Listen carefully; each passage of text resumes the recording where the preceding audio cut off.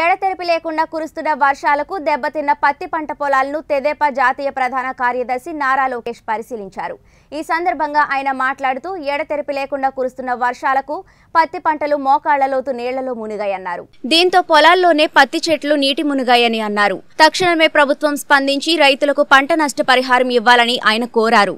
ఈ కార్యక్రమంలో మాజీ మంత్రి కాల్వ శ్రీనివాసులు స్థానిక గుంతకల్లు మాజీ ఎమ్మెల్యే జితేంద్ర గౌడ్తో పాటు జిల్లా నాయకులు కార్యకర్తలు అభిమానులు అభిమానులు పాల్గొన్నారు.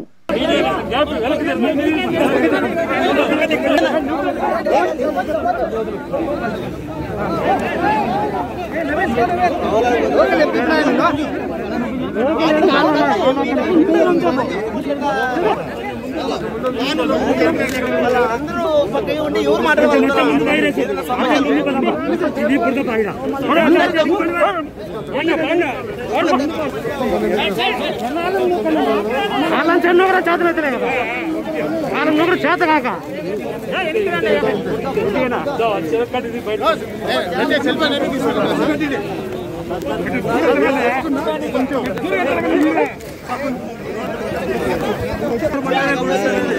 ఎవరు కుడుస్తున్నావు నీ పేరు ఎవరు కుడుస్తున్నావు చెప్పు. నాదన తీస్తా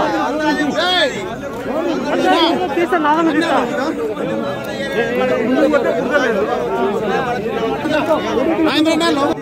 రైతులకి ఇన్సూరెన్స్ కానీ ఇన్కమ్ సబ్సిడీ కానీ ఏదైనా కానీ మీరు గట్టిగా పోరాడి